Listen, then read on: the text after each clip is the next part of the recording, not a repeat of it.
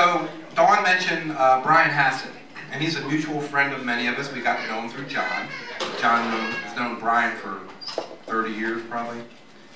And he, uh, he visited Al War on one occasion, took some great film, got a lot of these stories down on tape. And he lives in Quebec, and uh, so obviously he can't be here today.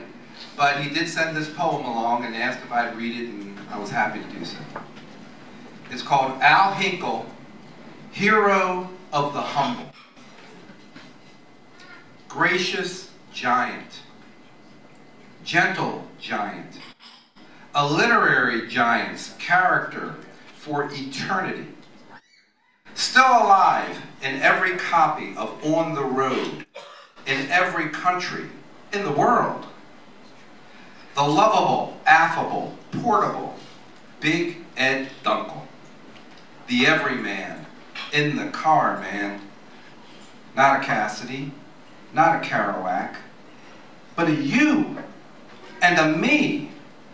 Everyone who wasn't a hero could be in that car in the person of Al, blocking the wind, running for smokes, driving through nights playing with folks, and planting the flag in the Southern Pacific Railroad earth that beckoned the charmers, the dreamers, conductors of generations of players in the symphonies of cultures that filled the halls and spiked the balls and wooed the dolls with an easy laugh and a generous hand.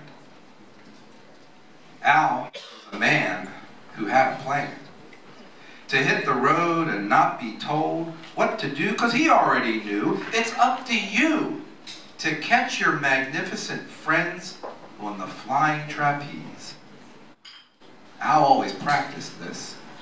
He taught this, caught this, shared this.